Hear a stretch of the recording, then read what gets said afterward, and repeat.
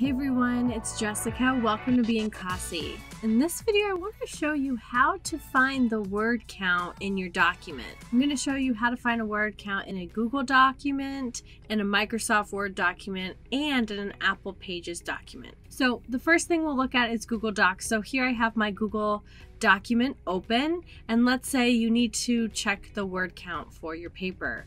What you're going to want to do is you're going to want to navigate up to the tools bar and click on Tools and then scroll down to where you see word count.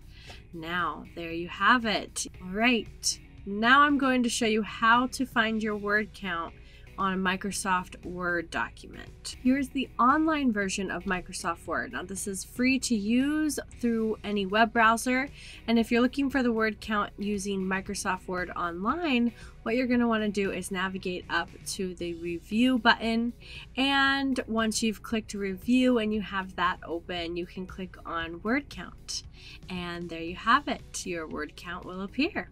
Now I'm going to show you where to find the word count using Microsoft Word on the desktop. Now this is going to be on a MacBook.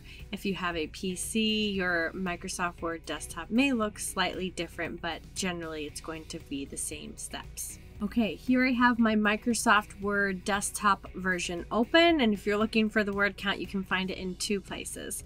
The first is in the left-hand corner.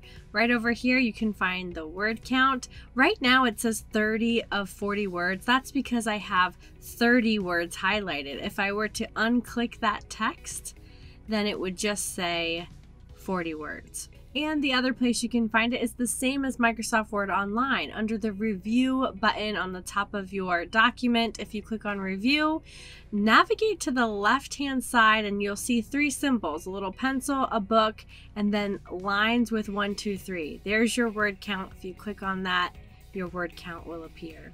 Lastly, I'm going to show you how to find the word count in Apple Pages. If you're an Apple Pages user and you have a Pages document open, what you're going to want to do is navigate up to the top of your toolbar, the very top where it says View, and you're going to want to scroll down to where it says Show Word Count.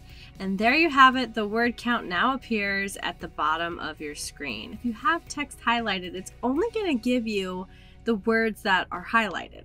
So, to get an accurate account for all of the words that are in your paper, make sure nothing is highlighted, and there you have it, your word count. I hope this tutorial was useful for you in finding the word count in your documents. If this video was helpful, go ahead and give it a big thumbs up and subscribe to our channel.